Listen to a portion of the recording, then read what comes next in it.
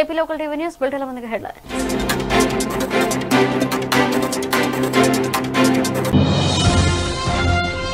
Pick విజేతలను అభినందించిన ప్రధాని మోదీ మోదీ బ్యాడ్మింటన్ రాకెట్ను బహుమతిగా ఇచ్చిన సింధు.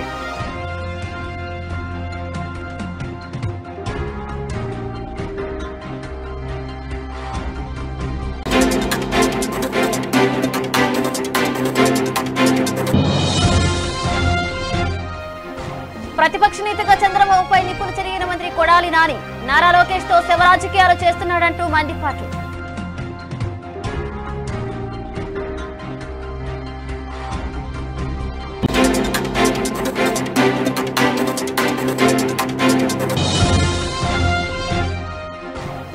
బంగాళాఖాతంలో ఏర్పడిన అల్పపీడనం నేడు కోస్తా జిల్లాలో ఒకటి రెండు చోట్ల భారీ వర్షాలు కురిసే అవకాశం వెల్లడించిన విశాఖ వాతావరణ కేంద్రం.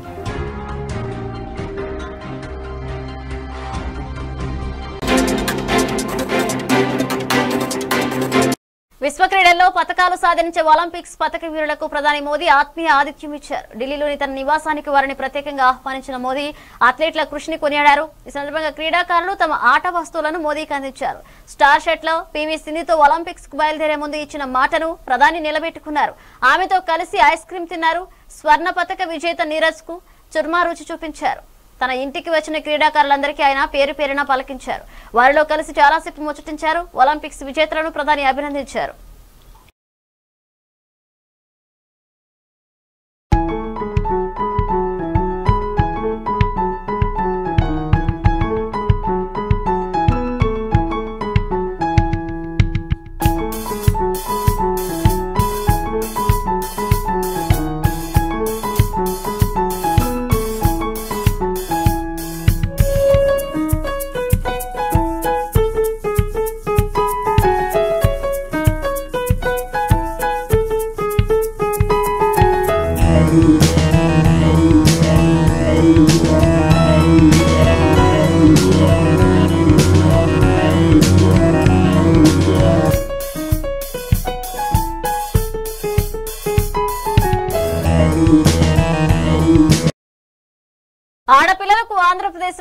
లేదని అన్యాయంపై ప్రశ్నిస్తే అక్రమ అరెస్టులు చేస్తున్నారని ఇదేం అరాచక ప్రభుత్వమని టీడీపీ జాతీయ ప్రధాన కార్యదర్శి నారా లోకేష్ వైసీపీ ప్రభుత్వంపై తీవ్రస్థాయిలో ధ్వజమెత్తిన విషయం తెలిసిందే.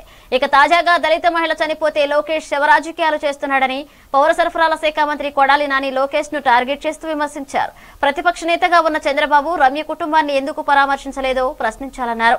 కొడాలి నాని బాధిత కుటుంబాన్ని జగన్ పరామర్శించలేదని లోకేష్ చేసిన వ్యాఖ్యలకు మండిపడ్డారు.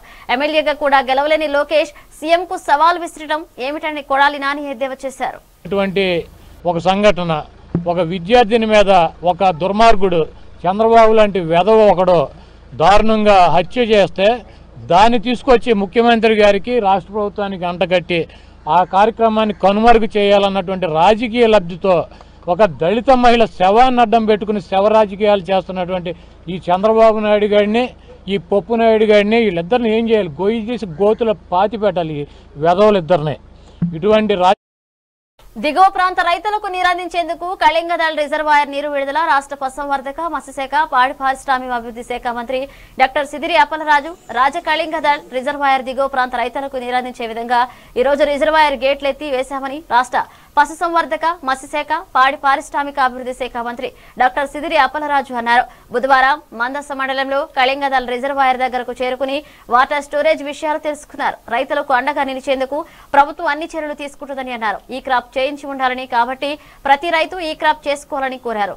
రైతు సంక్షేమ ధ్యేయంగా ప్రభుత్వ ముఖ్యమంత్రి జగన్మోహన్ రెడ్డి పనిచేస్తున్నారని అన్నారు. ఈ కార్యక్రమంలో ఇరిగేషన్ అధికారులు అగ్రికల్చర్ అధికారులు రైతులు పాల్గొన్నారు. सरस्वती देवी देव्यै नमः। तव चरणारविन्दजुगळे केशव नारिकेलं समर्पयामि। अभिप्रेतार्थ सिद्धार्थं पूजितज्ञ सुरासुरे। सर्वविघ्नविनाशाय श्रीगण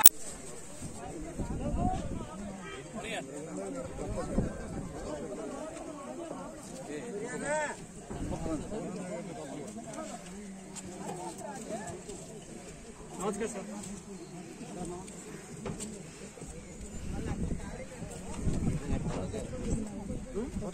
నిండితే అంత అందంగా ఉంటుంది. ఈ విశాఖ జిల్లా సబ్బవరం మండలం మోటార్ సైకిళ్ళ చోరీలకు పాల్పడుతూ తప్పించుకు తిరుగుతున్న ఇద్దరు నిందితులను బుధవారం పోలీసులు చాకచక్యంగా వలపని పట్టుకున్నారు. స్థానిక police circle inspector RVV SS Chandrasekhararao media ప్రతినిధులతో మాట్లాడుతూ సబ్బవరం మండలం బంగారుపాలెం పరిసర ప్రాంతాల్లో ఇద్దరు అపరిచిత వ్యక్తులు సంచరించడం చూసి తమ పోలీసులు వారిని పట్టుకుని ప్రశ్నించగా మోటార్ సైకిల్ చోరీలకు పాల్పడుతున్నట్లు తేలిందన్నారు. ఇక్కడ వ్యక్తులతో పరిచయం ఏర్పాటు చేసుకున్న అతడు మోటార్ సైకిల్ దొంగతనాలకు పాల్పడుతూ చోడవరం మండలం బంగారుపాలెంకు చెందిన బర్లా శ్రీనివాసరావు ద్వారా చోరీ చేసిన మోటార్ సైకిల్ను విక్రయిస్తూ పోలీసుల నుంచి తప్పించుకుని తిరుగుతున్నాడు. వారి నుంచి పది మోటార్ సైకిళ్ళను స్వాధీనం చేసుకున్నారు. ఆ ఇద్దరిని అరెస్ట్ చేసి రిమాండ్కు తరలించారు. మీడియా సమావేశంలో ఎస్ఐ లక్కోజు సురేష్ తదితరులు పాల్గొన్నారు. పోలీస్ స్టేషన్కి సంబంధించిన కేసులు ఒక బైక్ ఏమో కోటపాడు పోలీస్ స్టేషన్లో కేసు నమోదు చేయబడి ఉన్నాయి మిగతా మూడు కేసులు బైక్లో కూడా వాటి ఓనర్షిప్స్ తీసుకున్నాము ట్రై చేశాం కానీ అవి ఎక్కడ పోయే ఓనర్షిప్ బహుశా అమ్మేసి వేరే వాళ్ళకి అమ్మేసి ఉండడం వల్ల ట్రేస్ అవ్వలేదు. అవి కూడా కోర్టుకి పెడుతున్నాం. వాళ్ళు ఎవరైనా నెంబర్లు కదా ఆ ఇంజిన్ నెంబర్ చార్జెస్ నెంబర్ కదా ఓనర్స్ ఏమైనా క్లెయిమ్ చేసుకుంటే వాళ్ళు కోర్టు నుంచి వాళ్ళు తీసుకొస్తారు.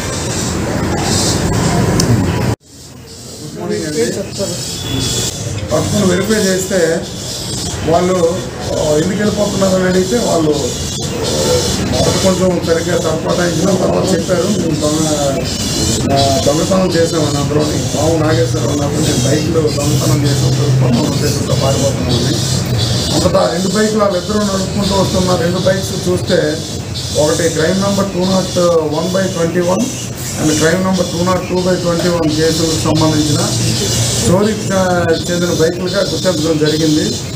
వాటిని అంతటా ఎస్ఐ గారు ఏం చేశారంటే మధ్యవర్తులను అక్కడ సమీకరించుకొని వాళ్ళ సమక్షంలో వాళ్ళిద్దరిని కూడా అదుపులోకి తీసుకొని వాళ్ళు ప్రశ్నించడం జరిగింది. మీరు ఇదే కాకుండా ఇంకా ఏదన్నా చేశారని నేరాలని చెప్తే వాళ్ళు మొత్తంగా అతను అందులో ఏమన్నా ఉన్నారంటే పవన్ నాగేశ్వరరావు అని ఈయన థర్టీ ఫైవ్ ఇయర్స్ ఇది బిఎస్పేట విలేజ్ చోడవరం మండలం. ఇతను గతంలో త్రీ ఫోర్ ఇయర్స్ బ్యాక్ మన పెదనాయపాలెంలో ఉంటూ ఉండేవాడు. విశాఖపట్నం జిల్లా సభవరం మండలం ఎంపీడీఓ కార్యాలయంలో డెబ్బై ఐదవ భారత స్వాతంత్ర దినోత్సవం సందర్భంగా జిల్లాలో ఉత్తమ ఎంపీడీఓ అవార్డు పొందిన సభవరం ఎంపీడీఓ బి. రమేష్ నాయుడును బుధవారం ఉద్యోగ సంఘాలు ఘనంగా సత్కరించాయి. సందర్భంగా ఎంపీడీఓ రమేష్ నాయుడును జ్ఞాపికలతో ఘనంగా సత్కరించారు. ఈ సందర్భంగా జిల్లా వీఆర్ఓల సంఘం అధ్యక్షులు సబ్బవరపు త్రినాథ కాసు మాట్లాడుతూ రాష్ట్ర ప్రభుత్వం అమలు చేస్తున్న నవరత్నాల పథకాలను సబ్బవరం మండలంలో పారదర్శకంగా అమలు చేయడంలో జిల్లాలోని ఎంపీడీఓ ఉత్తమంగా నిలిచారన్నారు. ఈ కార్యక్రమంలో జిల్లా వీఆర్ఓల సంఘం అధ్యక్షులు ఎస్. త్రినాథ రామకాసు వీఆర్ఏల మండల సంఘం అధ్యక్షులు నీటిపల్లి గంగాధర్ తదితరులు పాల్గొన్నారు.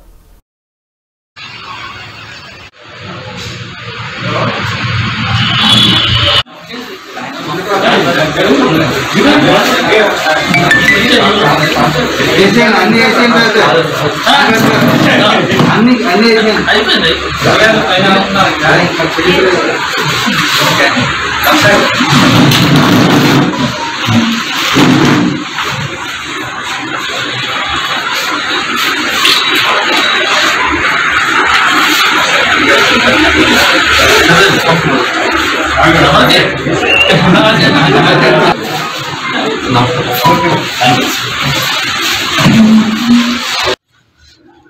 పదిహేను ఉన్న ఆగస్టు పదిహేను స్వతంత్ర దినోత్సవం సందర్భంగా గౌరవ జిల్లా ఇన్ఛార్జ్ మంత్రివర్యులు కురసాల కన్నబాబు గారి చేతుల మీదుగా మన సబ్బవరం మండల పరిషత్ అభివృద్ధి అధికారులు బి రమేష్ నాయుడు గారికి ఉత్తమ మెరిట్ అవార్డు తీసుకోవడం జరిగింది.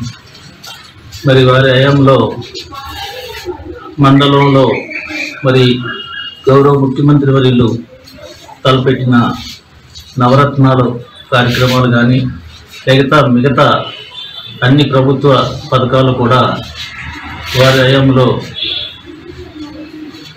మన మండలంలో జిల్లా మొత్తం మీద మన మండలం ముందుంది.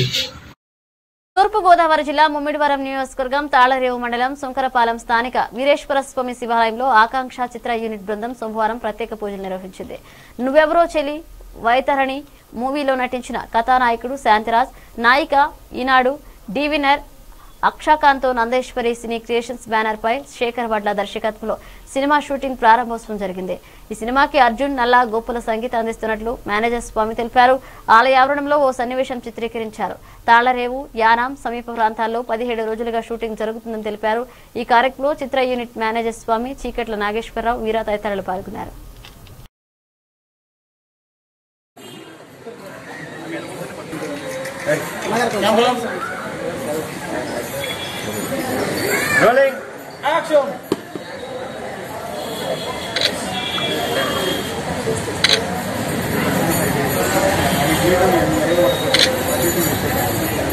ఓకే కట్ కట్ కట్టండి అందరూ పీటర్ సహాయం సో నేను ఒక కొత్త మూవీతో మీ మధ్యకి రాబోతున్నాను. ఆ మూవీ పేరు వచ్చేసి ఆకాంక్ష. అండ్ ఈరోజు నేను కాకినాడలో షూట్ చేయడానికి కోసం వచ్చాను. చాలా ఇంకా చేయాలి ఇంకా స్టార్ట్ అయింది. సో నాకు మా మొత్తం టీంకి మీ తరఫు నుంచి wishes and all the best కావాలి. So thank you so much and అలాగే సపోర్ట్ చేస్తున్నాను.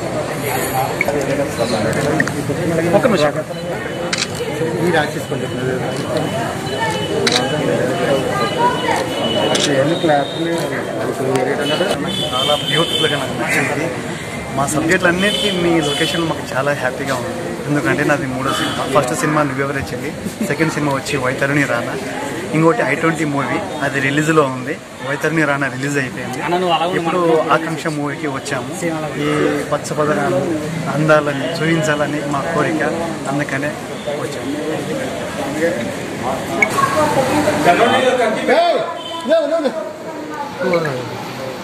చెప్పండి సార్.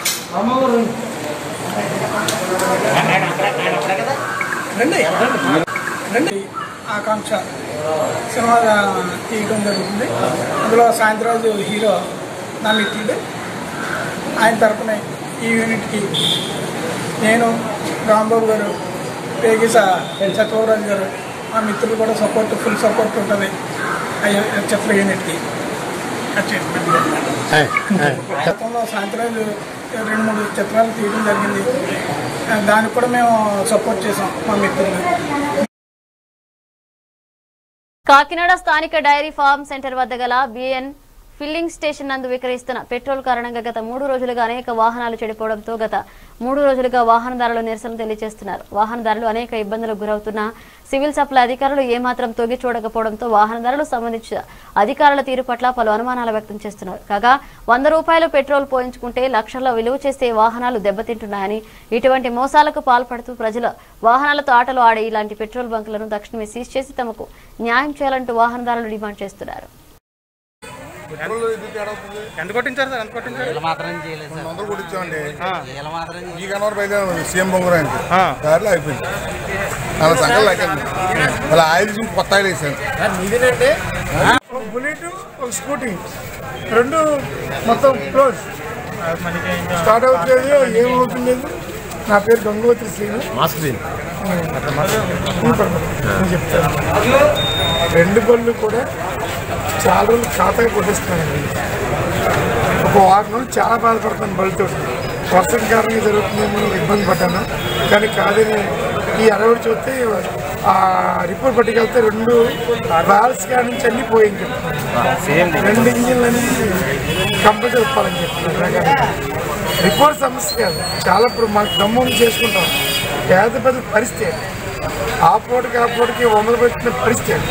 వాళ్ళకి ఏం తీర్చి చెప్తారు? టైం చెప్పలేదు మీరు ఎక్కడ కొట్టించారు?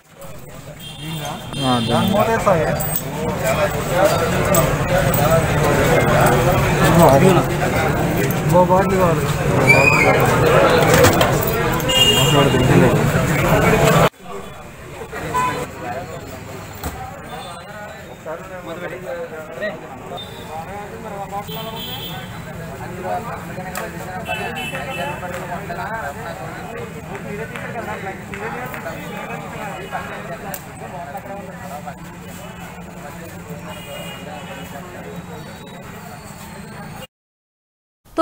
గోదావరి జిల్లా ప్రతిపాడు నాడు నేడు కార్యక్రమంలో భాగంగా అభివృద్ధి చేసిన పాఠశాలను ప్రారంభించారు ఎమ్మెల్యే పర్వత పూర్ణచంద్ర ప్రసాద్ ఇలేశ్వరం మండలం ఎర్రవరం గ్రామంలో నాడు నేడు కార్యక్రమంలో సకల సౌకర్యాలతో నిర్మాణం చేపట్టిన ఎంపీపీ యూపీ పాఠశాలను ఎమ్మెల్యే పర్వత పూర్ణచంద్ర ప్రసాద్ చేతుల మీదుగా ప్రారంభించారు. అనంతరం జగనన్న విద్యా కానుక మెటీరియల్ను విద్యార్థులకు పంపిణీ చేశారు. ఈ కార్యక్రమంలో ఎమ్మెల్యే పర్వత పూర్ణచంద్ర ప్రసాద్తో పాటు గ్రామ సర్పంచ్ బిశెట్టి అప్పలరాజు మండల ఇన్ఛార్జ్ బదిరెడ్డి గోవింద్ జడ్పీటీసీ అభ్యర్థి నీరుకొండ సత్యనారాయణ ఎంపీటీసీ బొడ్డు కృష్ణ విద్యా కమిటీ చైర్మన్ ఎంఈఓ అబ్బాయి ఎంపీడీఓ గోవింద్ ఎంఆర్ఓ రజనీకుమారి పాఠశాల హెచ్ఎం రమాదేవి సిబ్బంది తదితరులు పాల్గొన్నారు. పరిస్థితులు మనందరం కూడా చూస్తూ ఉన్నాం. ఏ స్కూల్కి వెళ్ళినా కానీ కూర్చోవడానికి బలం ఉండేవి కాదు. నడవాలంటే సరైనటువంటి గచ్చులు ఉండేవి కాదు. బ్లాక్ బోర్డులు ఉండేవి కాదు. లైటింగ్ ఉండేది కాదు. సరైనటువంటి టీచర్లు ఉండేవారు కాదు. పిల్లలు ప్రభుత్వ స్కూల్కి వెళ్ళి చదువుకోవడానికి కూడా ఇబ్బందులు పడేవారు. ఆడపిల్లలకైతే టాయిలెట్స్ ఉండేవి కాదు.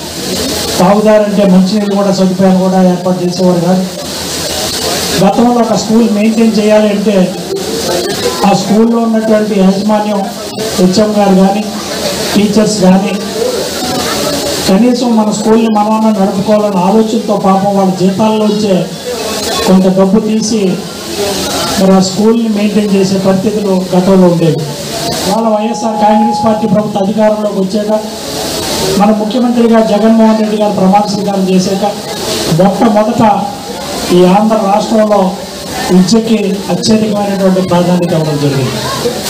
అందులో భాగంగా ఈ ఆంధ్ర రాష్ట్రంలో ఉన్నటువంటి ప్రతి స్కూల్లోని కూడా కనీస సౌకర్యాలన్నీ కూడా ఏర్పాటు చేయాలి అనే ఒక ఆలోచనతో నాడు నేడనే కార్యక్రమాన్ని ప్రవేశపెట్టడం జరిగింది. నాడు స్కూల్ ఎలాగుంది ఇవన్నీ బాగు చేసిన తర్వాత నేడు స్కూల్ ఎలాగుందనే కార్యక్రమాన్ని గత సంవత్సరం ఆయన ప్రారంభించి ఈ సంవత్సరం నిన్ననే కోనసీమలో పి. గన్నవరం నియోజకవర్గంలో నాడు నేడు స్కూల్ని ఓపెన్ చేయడం జరిగింది. ఇక్కడికి వచ్చినటువంటి తల్లిదండ్రులందరినీ కూడా ఒకసారి అడుగుతా ఉన్నా మీ పిల్లలు చదువుతున్నటువంటి స్కూల్ యొక్క ప్రాంగణం చూడండి. గత సంవత్సరంలో ఈ స్కూల్ యొక్క వాతావరణం ఏంటనేది ఒక్కసారి మీరు వెనక్కి వెళ్ళి చూస్తే ఆనాటి పరిస్థితి ఏంటి? ఈనాడు మీరు కూర్చున్నటువంటి ప్రాంగణం కానీ స్కూల్ కానీ ఇక్కడ ఉన్నటువంటి వాతావరణం ఏంటనేది మీకే అవగాహన అవుతా ఉంది. ఇవాళ ఈ స్కూల్ని ఇంత అందంగా బాగు చేయడానికి మీ పిల్లల కోసం చక్కని చదువుని నేర్పించడం కోసం ఈ స్కూల్ని నలభై లక్షల రూపాయలతో ఈ స్కూల్ని బాగు చేయించడం జరిగింది.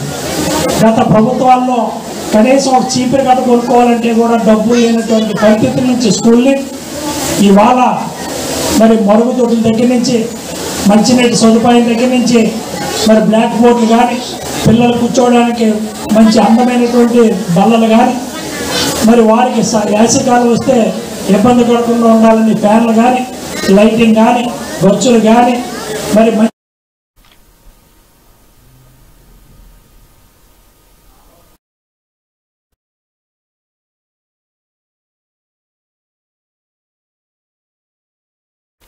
తూర్పు గోదావరి జిల్లా రామచంద్రాపురం నియోజకవర్గం దేవాలయ భూములు లీజుకిచ్చి అన్యక్రాంతం చేస్తున్నారని ఎగ్జిక్యూటివ్ ఆఫీసర్ అర్చకులపై ఆరోపిస్తున్న రేవు నాగేశ్వరరావు. కాజులూరు మండలం కొలంక గ్రామంలో ప్రసిద్ధిగాంచిన సోమేశ్వర స్వామి దేవస్థానంకు ఇద్దరు అర్చకులు ఒక అర్చకుడు మరణించడంతో వారి అర్చకత్వానికి ఇచ్చిన ఆరు ఎకరాల పంట భూమిని దౌర్జన్యంగా ఆక్రమించుకుని దేవాలయ సంస్థకు తెలియకుండా రెండు ఎకరాల పంట భూమిని రొయ్యల చెరువుకి లీజుకిచ్చారని మిగిలిన నాలుగు ఎకరాల పంట భూమిని కౌలుకిచ్చి అనుభవిస్తున్నారని వెంటనే ఆ పంట భూమిని దేవాలయానికి అప్పచెప్పి దేవాలయానికి ఆదాయం సమకూర్చాలని అన్యాయంగా అనుభవిస్తున్న వారిపై చట్టపరమైన చర్యలు తీసుకోవాలని కోలంక గ్రామ కాపురస్తుడు రేపు నాగేశ్వరరావు మీడియాకు తెలియజేశారు. అక్కడ ఇండోమెంట్ భూమి ఎంత ఉంది ఎంత లీజుకి ఇచ్చారు ఎంత సరే ఎంత లీజ్ ఇచ్చిందని ఉందంటాం కదండి. ఏడు ఎకరాల అరవై ఐదు సెంట్లు ఉందండి ఉందా ఎవరు చేస్తున్నారు అది? అది కూడా ఎంత తెలుసు? అది కూడా తెలియదు మీకు. ఏడు ఎకరాల అరవై సెంట్లు లీజ్ రాదు. ఎవరు చేస్తున్నారండి మీకు ఎంత తెలుసు అండి? శ్రీ సోమేశ్వరం టెంపుల్ కోలంక కాజూరు మండలం. ఇంకా ఆయన దేవ నాగేశ్వర గారు అన్న ఆయన స్పందన దాంట్లో లెటర్ పెట్టారండి. ఆ లెటర్ ఏసీ గారికి ఫార్వర్డ్ చేస్తే ఏసీ గారి ఆఫీస్ నుంచి నాకు వచ్చింది. ఏంటండి ఆ ఎలిగేషన్? ఏంటి ఏం పెట్టాడు దాంట్లో? ఏముంది? ఎలిగేషన్ అంటే దాంట్లో మ్యాటర్ అయితే నా దాంట్లో నా దగ్గర ఉన్న దాంట్లో మ్యాటర్ లేదండి దాంట్లో. ఓన్లీ ఇంగ్లీష్ మ్యాటర్లు వచ్చింది నేను దాన్ని రాసి పంపించాను అది ఏం రాష్ట్రం నేను రాసి పంపించండి ఇలాగా పద్దెనిమిది ఎకరాల అరవై తొమ్మిది సెంట్లు ల్యాండ్ ఉందండి. వెళ్ళిపో బాబు వెళ్ళిపో. సౌండ్ వచ్చేస్తుంది. అంటే ఇప్పుడు మీ దేవస్థానం భూమి అన్యాక్రాంతం అది అవుతుందా? పదకొండు ఎకరాలు రెండు సెంట్లు అన్నది అచ్చిక ల్యాండ్లో ఉందండి. అది ఎన్ని ఎకరాల్లో తవ్వింది అన్నది నాకు ఐడియా లేదండి అది దేవస్థానం భూమి అనేది అన్యాక్రాంతం అవుతుందా లేకపోతే మామూలుగా ఉన్నది అనేది ఈ క్షేత్రస్థాయిలో మీరు పరిశీలించరండి ఆ, అన్య ప్రాంతంలో అయితే మటుకు అచ్చిక సర్వీస్ ల్యాండ్లోనే ఉందండి అది. అంటున్నారు కదా అన్నప్పుడు అది ఎంతవరకు సమంజసం అనేది మీరు ఈవోగా మరి పరిశీలించి దాన్ని ఏమన్నా వివరణ చెప్పాలండి.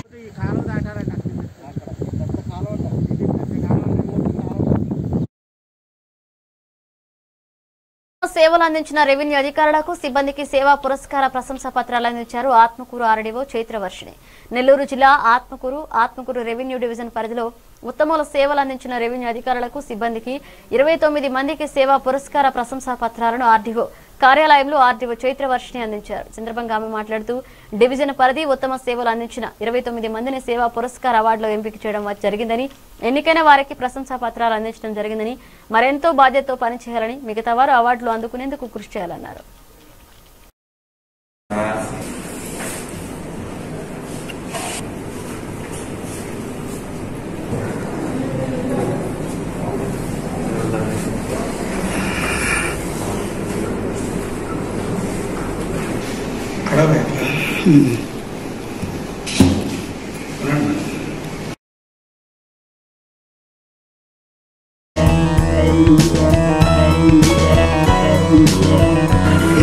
ఈరోజు రెవెన్యూ డిపార్ట్మెంట్కి సంబంధించిన అధికారుల్ని సత్కరించడం జరిగింది.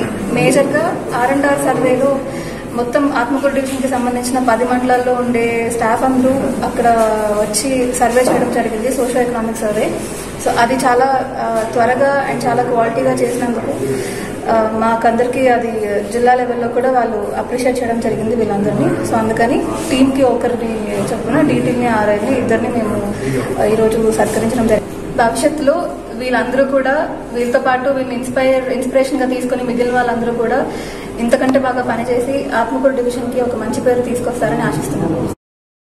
దళిత యువతి రమ్య హత్యకు నిరసనగా ఈ రోజు ఆత్మకూరు జనసేన పార్టీ యాత్రలో స్థానిక మున్సిపల్ బస్టాండ్లోని బాబాసాహెబ్ అంబేద్కర్ విగ్రహం నుండి సత్రం సెంటర్లోని అమరజీవి పొట్టి శ్రీరాములు విగ్రహం వరకు కొవ్వొత్తుల ర్యాలీ నిర్వహించడం జరిగింది.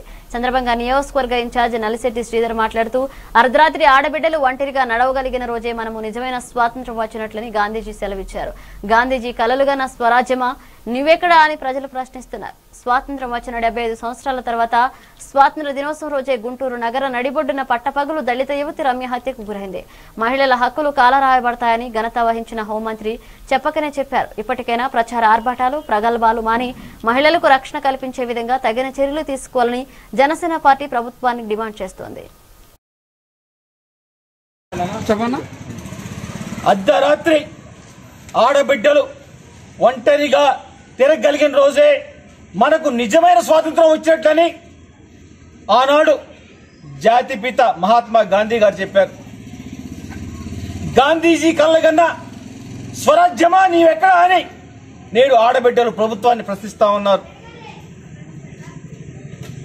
స్వతంత్రం వచ్చిన డెబ్బై ఐదు సంవత్సరాల తరువాత స్వతంత్ర దినోత్సవం రోజు గుంటూరు నడిబొడ్డున పట్ట పగలు దళిత యువతి రమ్య దారుణ హత్యకు గురి కాబడిన విషయం మనకందరికీ తెలిసిందే. మహిళల రక్షణలో గన్ కన్నా ముందు జగన్ ఉంటాడని ప్రగల్భాలు పలికిన నాయకులారా మీరెక్కడ అని జనసేన పార్టీ ప్రశ్నిస్తా ఉంది. ప్రజల రక్షణ కోసం మహిళల రక్షణ కోసం దిశ చట్టాన్ని తీసుకొచ్చామని ఎంతో ప్రజా ప్రచార ఆర్భాటంతో ప్రభుత్వం ప్రకటించింది. వాస్తవానికి ఈ చట్టం మనుగడలో లేదు. మనుగడలో లేని దశ దిశ లేని చట్టానికి విపరీతమైన ప్రచారం కల్పించి ప్రజలను మభ్యపెట్టే జగన్ మాయ ఇది. రమ్య హత్య ఉదంతం తర్వాత గౌరవనీయులైన హోంమంత్రి గారు పత్రికా సమావేశంలో మాట్లాడుతూ మహిళలు ఒంటరిగా బయటికి రావద్దని సెలవిచ్చారు. అంటే ఈ ప్రభుత్వ పరిపాలనలో మహిళలకు రక్షణ లేదని ఆడబిడ్డల హక్కులు కాలరాయబడతాయని ఘనత వహించిన హోంమంత్రి గారు చెప్పకనే చెప్పారు. ఇప్పటికైనా ప్రచారార్భాటాలు మాని మహిళలకు రక్షణ కల్పించే చట్టాలను తయారు చేయాలని మహిళల రక్షణ కల్పించాలని చెప్పి జనసేన పార్టీ ఈ సందర్భంగా డిమాండ్ చేస్తా ఉంది. జై జనసేన!